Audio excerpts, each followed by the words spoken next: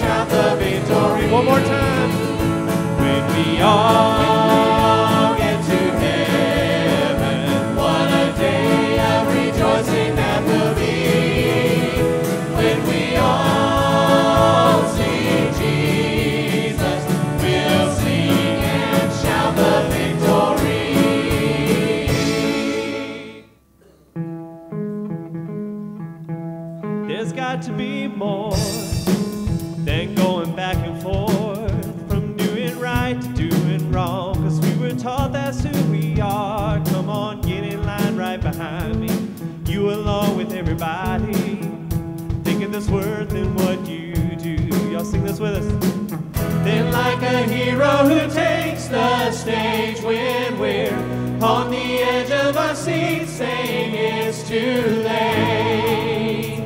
Well, let me introduce you to amazing grace. No matter the bumps, no matter the bruises,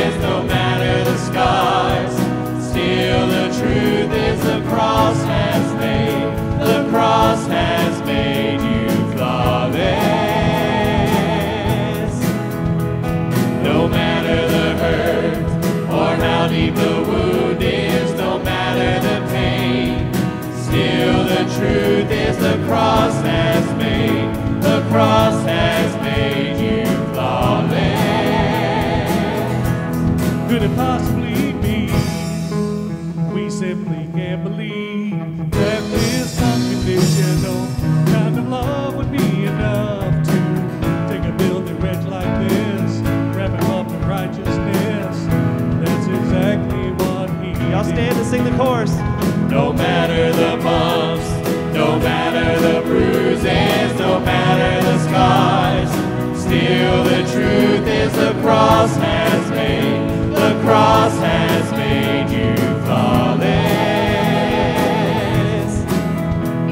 No matter the hurt or how deep the wound is, no matter the pain, still the truth is the cross has made, the cross has made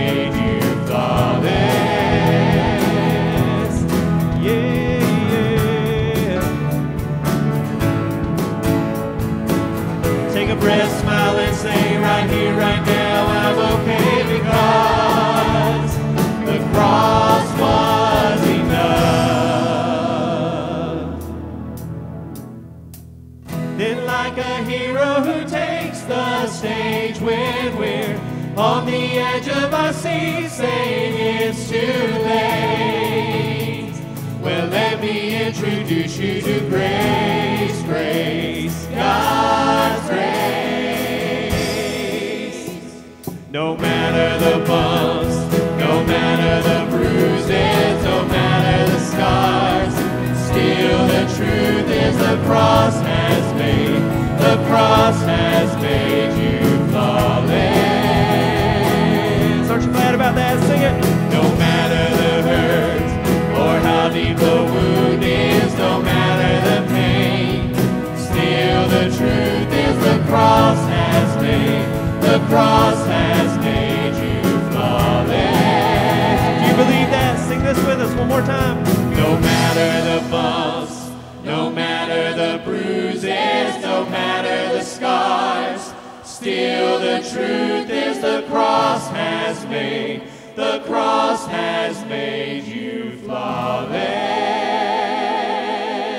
Let's give him praise today. Amen.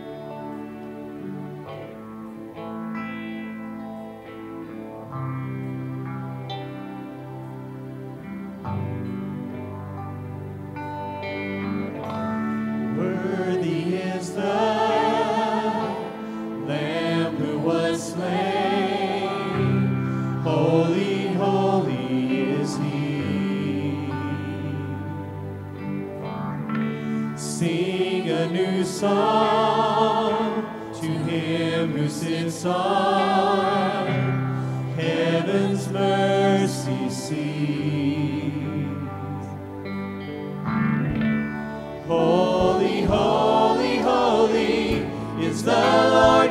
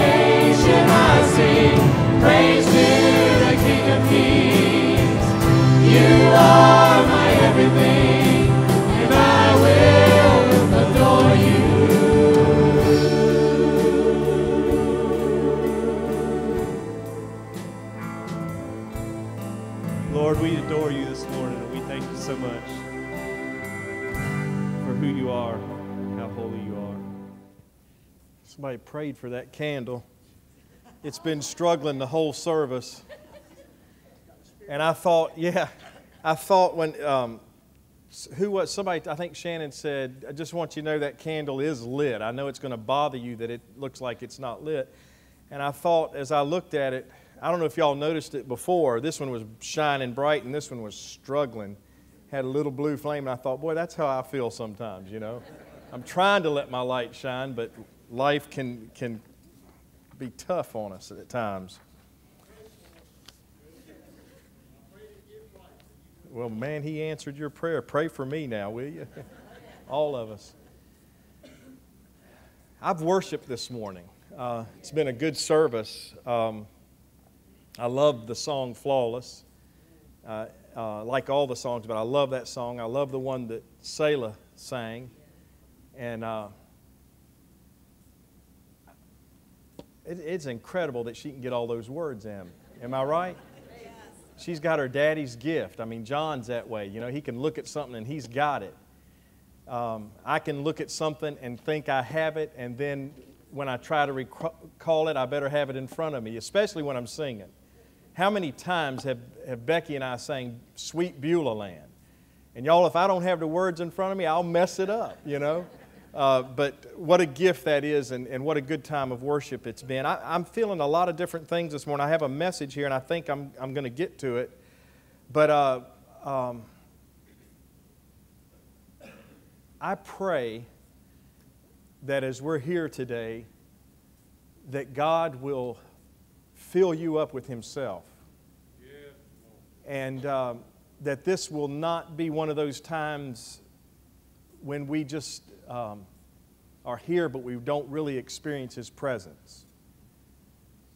Sometimes when we come into this, in this, into this moment on Sundays, we are bringing with us the weight of the week that we've lived in, and we're having a hard time letting go of it. And, I, and that's understandable, that's part of who we are. And in other times, we're on the other end of the spectrum, we're so anticipating what is, is going to happen next that we lose the moment. And uh, I, I pray we can be in this moment and that God will so touch our lives that, that uh, it'll change us. It, it'll change how we perceive our lives and how we perceive our circumstances. Um, I had Harold look up a song for me. TobyMac sings a song that says, um, You can come and steal my show. He's a Christian singer and rapper. He's a, he's a great anointed servant of the Lord. And he says in the opening verse of that song, I'm coming into another diverse city, about to land and, and go to the show, and the people are waiting for the, the beat to drop. But Lord, what we really need is you. And so you can come and steal my show. Lord, come and take over. Man, how we need that, you know? How we need that at, in this very moment in church today. Uh, JD was right on it when he said some of us are celebrating today and some of us are, are struggling today. And, and somewhere in between are a host of other folks, you know, just kind of going through life and not, not celebrating and not grieving, but just kind of on autopilot. And, and we're in all these different places, and wherever we are and whatever's going on, God wants to be there. He wants to be in the middle of our lives and what's going on. And we don't just need Him to bless us. We do need Him to bless us, but we don't just need Him to bless us. Like the song Selah sang this morning, what we really need is Him. Even if He doesn't uh, move the mountain, even if He doesn't part the sea that I'm wanting to walk through, Lord, what, what I really want is you in my life in this moment. And JD, you were so in tune with the Spirit this morning when you said, Lord, even if the circumstances in which we find ourselves, though they be difficult, even if those circumstances are meant not to be taken away, but to bring us to a new place in our lives, Lord, have your way in that. That's a tough prayer to pray. Especially if you're in the middle of a, of a difficult time in a battle. To say, Lord, if this battle is what I need, don't take it away, take me through it. I love the mountaintop. I'll confess that. I love it when times are, are good and, and, and uh, spirits are high. But I am amazed that often it's, it's in those dark times that I, that I really open up myself to Him. Not just what He can do, but to Him. In the scripture, it says Jesus chose 12 that He might be with them and that they might be with him.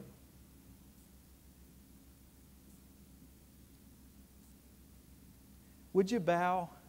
And would you, right now, before we go any further, just say, Lord, I want you. I want you.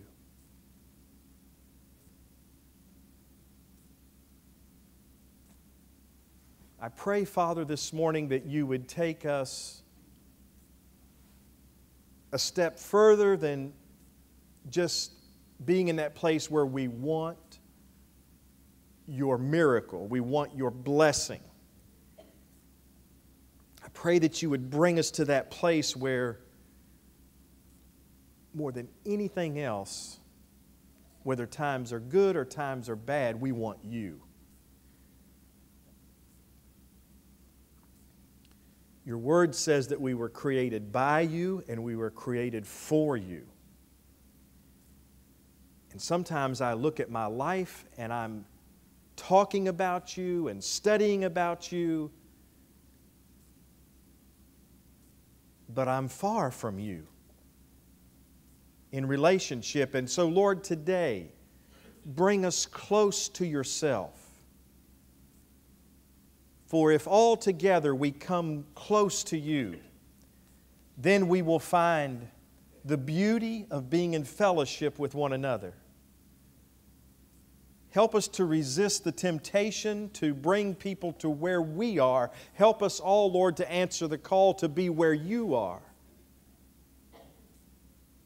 Thank you for those who have gathered in your house here today, but also all around the world where people are gathered. We thank you, Lord, that you are in the middle of those gatherings. You're here this morning, and God, I pray that you would speak to us. I pray that you would touch our lives.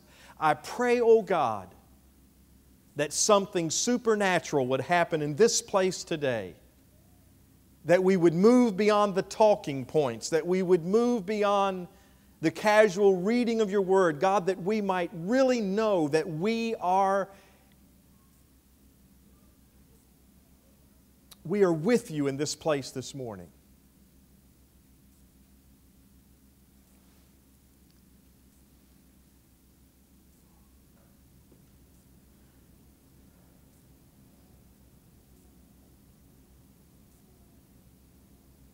When Jesus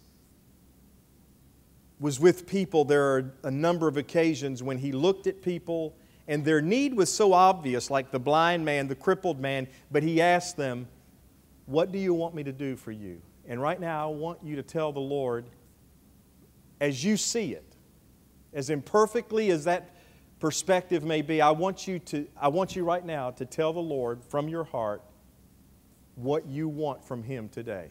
Will you do that? Just within your heart, not out loud. Will you tell him right now, Lord, this is what I this is what I want.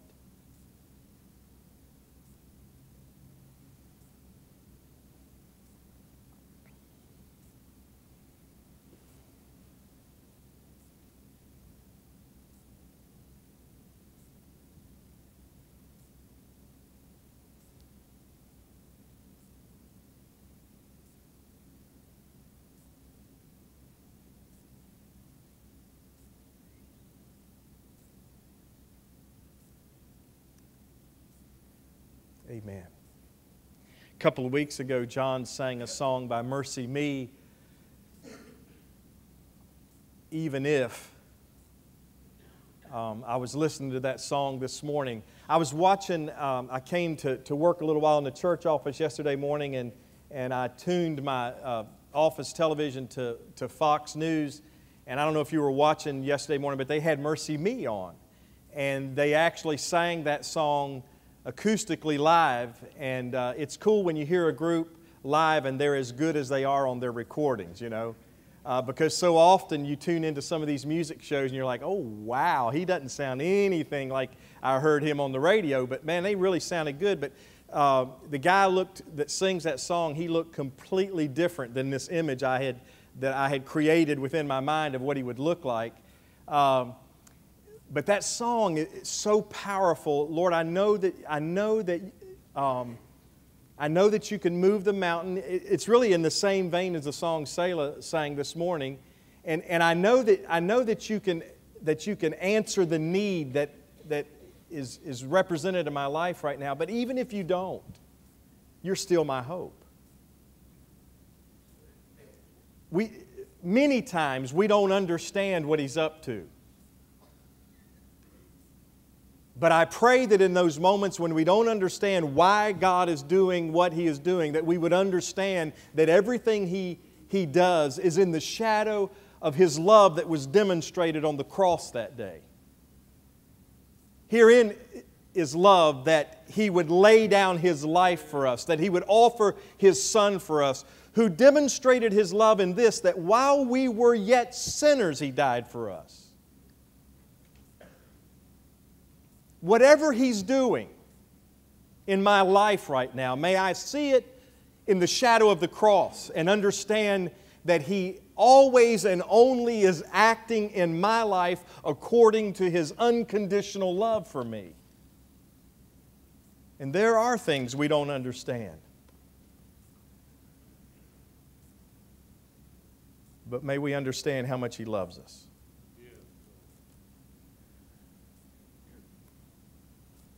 That was all a commercial. Now we're going to the message.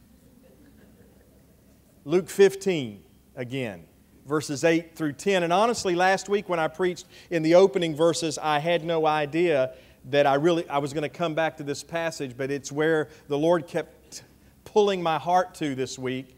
And so pray for me that I'll be able to say what He wants me to say and, and that it will be. Um, it will be according to what He is wanting to do in each and every one of our lives here today. We talked about the lost sheep last, last week and how the shepherd left the 99. He had 100 sheep in, in, in, um, in his name, and 99 of them were safe within the fold, but one had wandered away, and he left the 99 to go after the one. And. Um, we talked about the meanings of that and how that, that one sheep became the priority in the life of the shepherd in that moment because if that sheep were not rescued, or if he was not rescued, then he might face death. And God has gone after every one of us just like that with that kind of, of, a, of a dedicated love to bring us into the fold of safety. And then today we look at the parable from. Uh, from a different angle, he talks about a woman who had 10 coins, 10 silver coins. but she had lost one of them within her house. Boy, do you see the symbolism there? Uh, one of her coins backslid.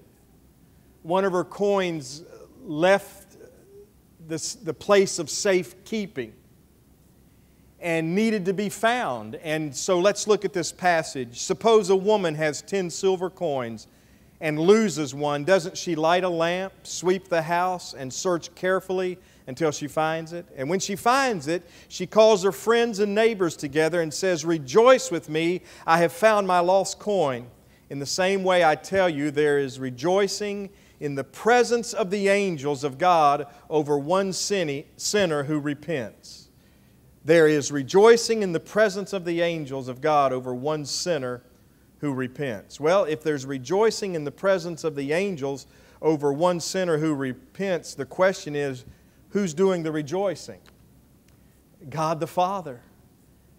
God the Son, God the Holy Spirit are rejoicing over the fact that that which was lost has been found. An incredible, an incredible parable that teaches us about the heart of God and how He feels about that moment when someone turns away from their sin to receive the saving grace that is offered by a loving Father through the death of His Son.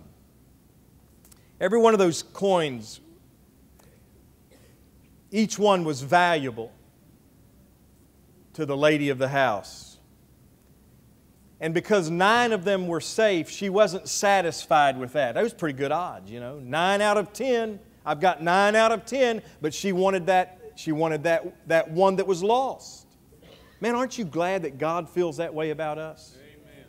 Aren't you glad that as, as we're here today, that if uh, 90% of us are on top of things and doing well, that God is not in heaven saying, well, that's good, we'll just let them be. We'll go over to another church where the percentages are a little bit more mixed than that. Uh, they'll be all right. They've got 10% that aren't doing too well, but they'll be okay because they have 90% that are in a good place uh, spiritually and in life. And, but that's not the heart of God. God looks, and if, if a tenth of us are, are just in a, in, a, in a difficult spot, are, have lost our way, God is pouring Himself into us that we might that we might come into the light of His love and might receive the grace that He is wanting to pour out in our lives at this particular moment in our life. I don't know what you're going through, but God knows what you're going through.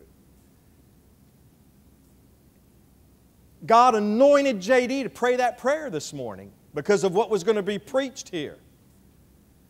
There's someone here that you came to church and you came with a little bit of desperation. God, please, if you don't do something, I don't know what I'm going to do. And I'm, I'm here to tell you that this parable says God cares about that. And He's sweeping the house, if you will. He, he's, he's going about with the light of His love in His hand to find you in that place where you need what only He can bring to your life. But a part of receiving the mercy He's wanting to bring to us is for us to get to the place that we can say with full assurance, Lord, even if you don't part the sea that I'm trying to walk through, what I really want is you. And if being in the middle of a raging sea is what will allow me to experience your presence, then God, I'm good with that. Folks, we're, we're better in a storm with Him than in a calm time without Him.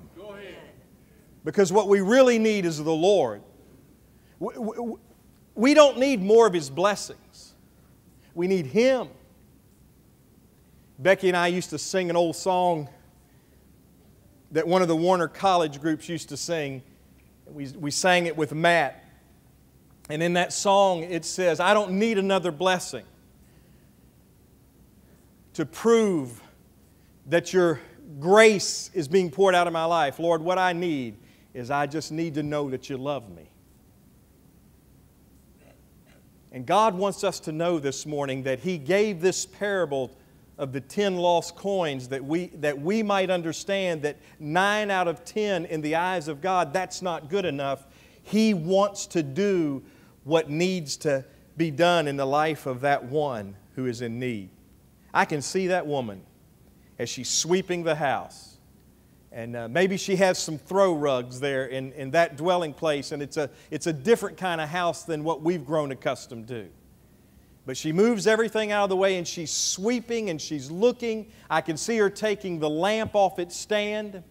And have you ever got to the place where you lost something and it meant so much to you and you dropped it right there on the floor and you can't find it and you're looking down and you need a different perspective? Now, you're not going to stand up and say that you've done this, but I'll tell you I've done it. Where I get down on the floor and I put my head down like this because now I can see for that little bump of a thing that I'm looking for, and it means that much to me that I'll get prostrate on the floor, prostrate on the floor to be able to see what I'm looking for. And I can see that woman, that coin means so much to her that she's looking under the furniture, she's looking across the floor. And in the days of wearing contacts, I'd drop a contact, and I'm telling you the truth, when you're standing up here like this looking for a contact, you can't find it. But you put your eyeball down on that floor level, and there it is over there, you know. Beck, don't step there. Stop, Beck. I found it. And you go over there and you, and you pick it up. Invested in finding it because it means that much to you. But why, why is Jesus giving this parable? Because, you know, God owns everything. And so, in, in the scheme of things, um, if God needed another coin, He'll just speak it into existence. So, what's He saying to us?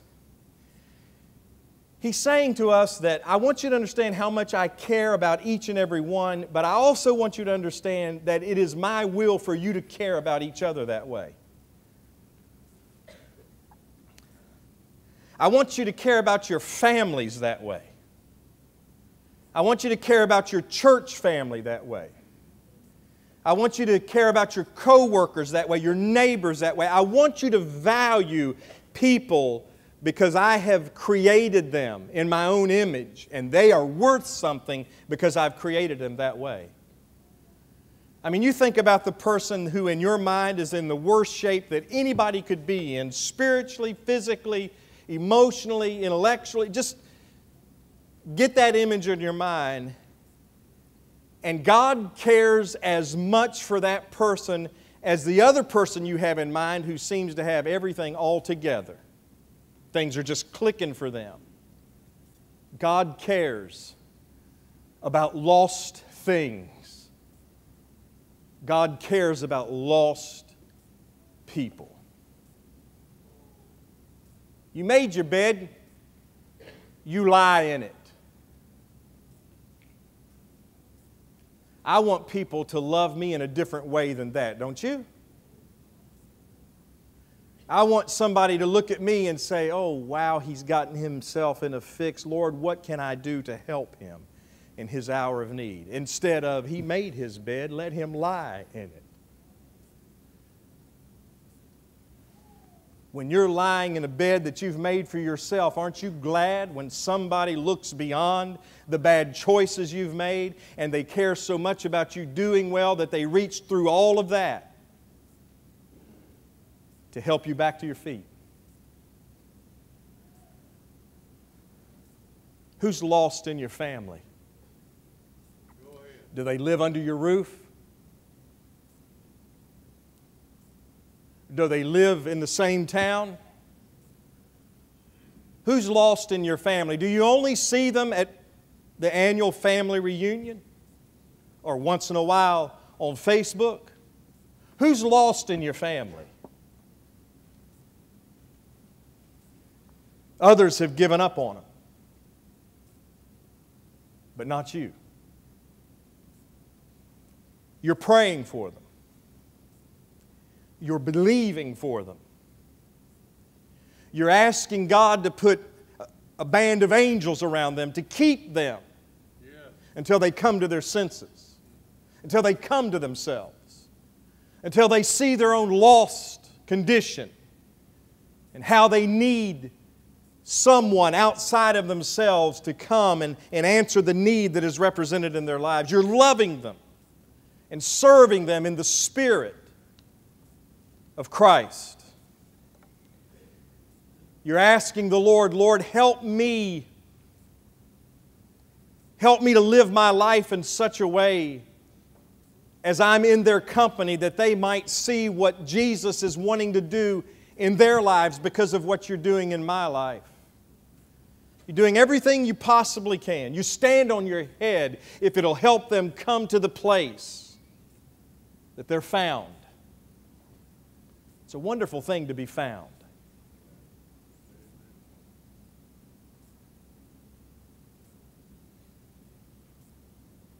John Newton, who wrote Amazing Grace, captain of a slave ship, he was so glad when the day came that he was found by the hand of God.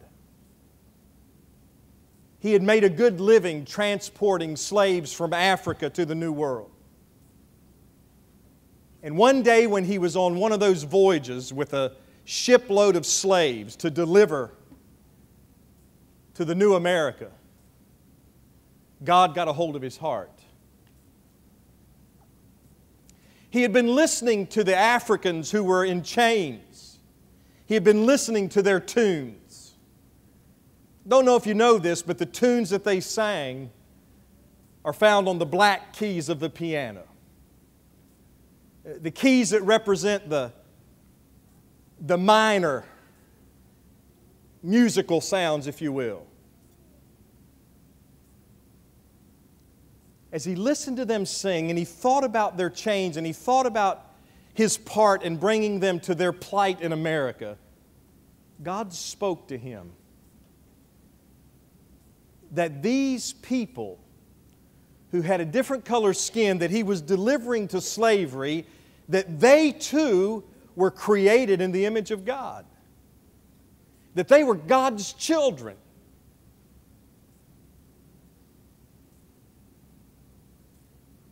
and he wrote the words to a tune that can be played on the black keys of the piano. Amazing grace, how sweet the sound that saved a wretch like me. I once was lost but now I am found. 'Twas blind, but now I see. It dawned on him the atrocity that he had been party to. He thought about how God's hand had been upon his life, but now he was brought to a light that he had never lived in before. He saw some people who were different than he was, he saw them in a different light. All of a sudden, their value shifted. Before they were valuable, like chattels because of the price that was on their head, because of what would happen when he would take them to the slave market, the, the monetary gain that he would receive. That was their value before, but now they had an intrinsic value. They had a value that depended solely on the fact that they were created in the image of God different, but not less.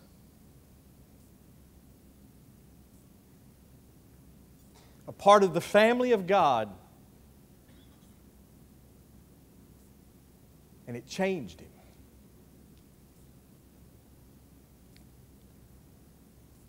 It changes us when we love someone just because they exist.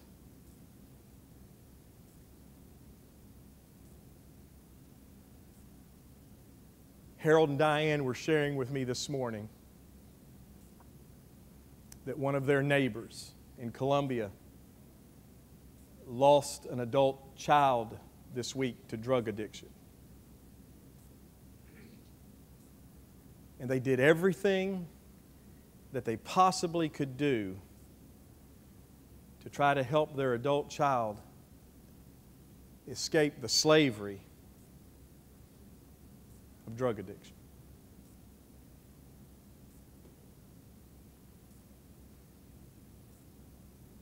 They lost themselves to trying to bring him to a freedom that he so desperately needed.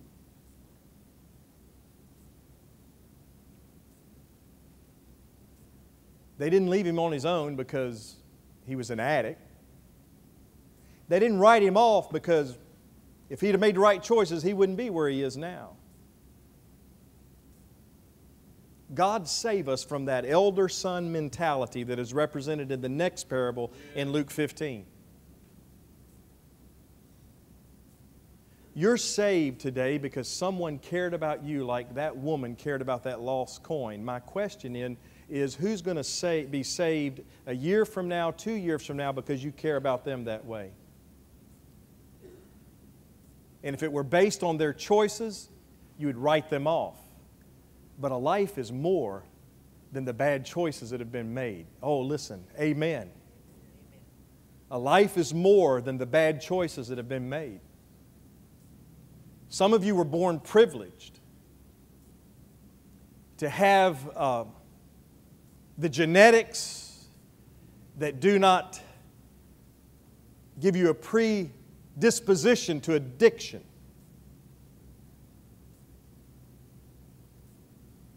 A person is more than their addiction. A person is more than the bad choices they have made. That person is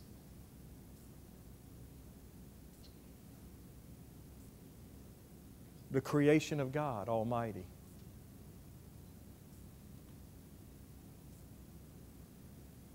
If you've got 10 kids and nine of them are thriving, but one of them is dying, you're not going to say, nine out of 10, that's pretty good. You're going to do everything you can for that one who needs new life breathed into them. Oh, God, speak to our hearts today. And help us to get the essence of what He's saying to us through this parable today. There are some people who are a part of your world that their only opportunity is you love them like this woman loved that lost coin.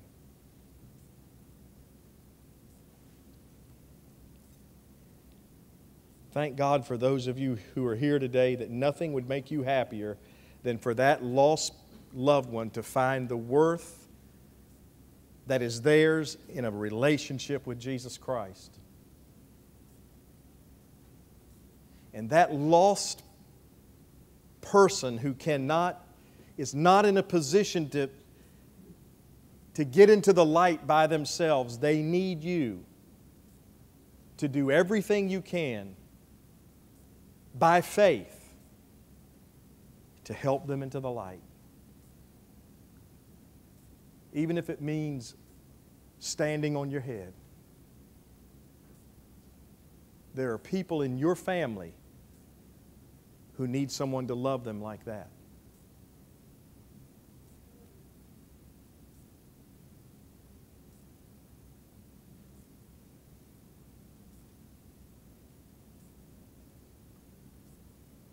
Somebody here has given up on someone, and God's talking to you this morning. Someone here has given up on someone.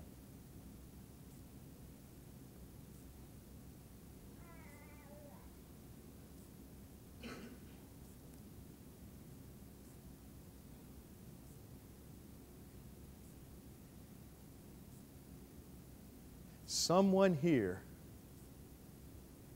God is wanting to break your heart for the one you've given up on. I don't know who you are. I don't have to. If I never know, it's fine. But I'm talking to you, and you know who you are.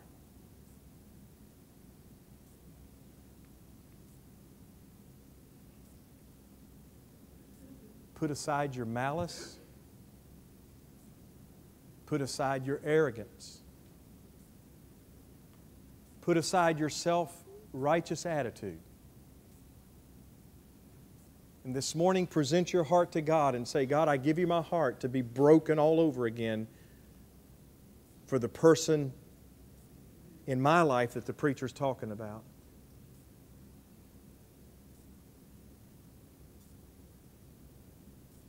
I've been too cavalier. Lord, I've been too calloused. I've been critical. I've been judgmental. I can't believe he said it this morning because I just said this week they made their bed, let them lie in it.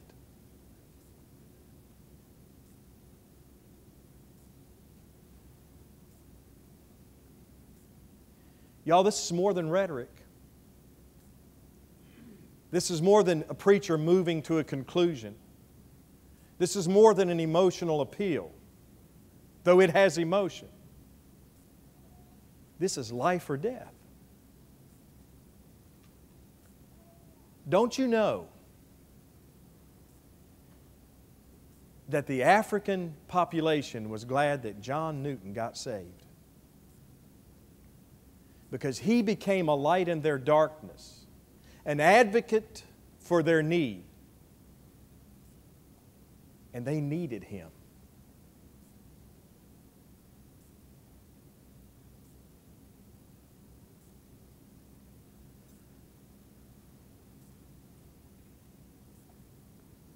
Who needs you?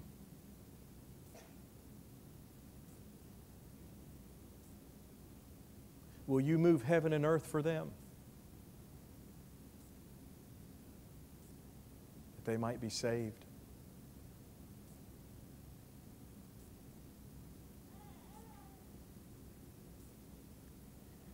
Would you bow your heads?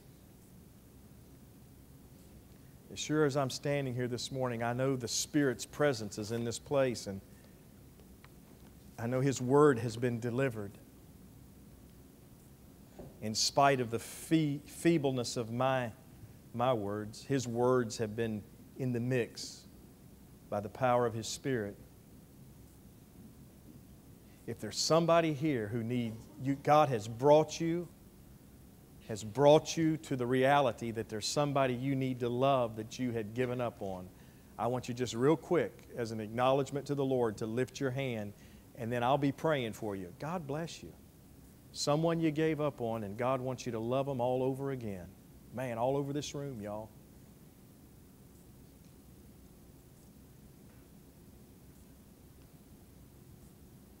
Anybody here, please don't be looking around. I just feel prompted of the Lord to ask this question Is there anybody here? Brother Ron, I've given up on myself and I need His touch. Just lift your hand real quick and take it back down. God bless you. Anybody else? Lord, I need help.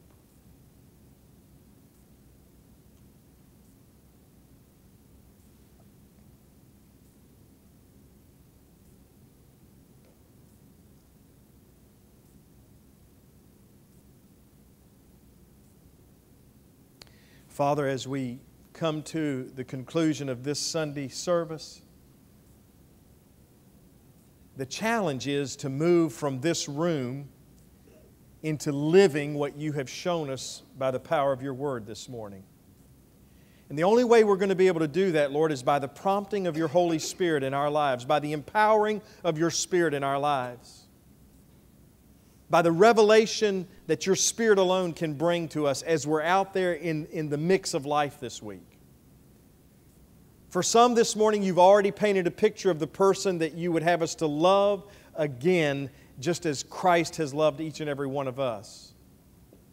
For others, it hasn't happened yet, but this week, they'll be out there and they'll see someone and say, Oh, wow, Lord, there's the person in my life that Brother Ron was preaching about Sunday morning. So, God, I pray by the power of your Spirit and through the authority of your word that you would help us, like the woman in this parable, to sweep the house where we find ourselves, to light the lamp where we find ourselves, to do everything we possibly can to find that one lost soul that will cause heaven to erupt with celebration in the presence of the angels.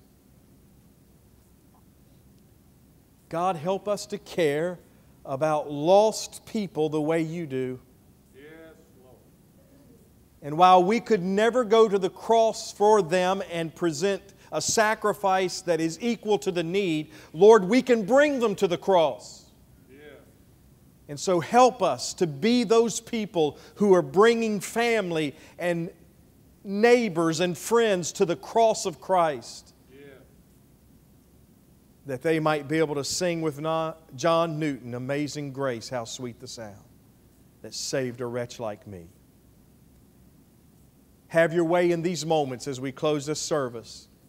Help us to think the thoughts that you would have us to think and make the decisions that you would have us to make. And to offer ourselves in a, in a spirit of humility and repentance that would cause us to leave behind our selfish ways that we might become vessels that are carrying the living Christ to the lives of people. And it's in Jesus' name we ask it. Amen. Come and let's pray this morning. Let's stand together as we sing this song of invitation.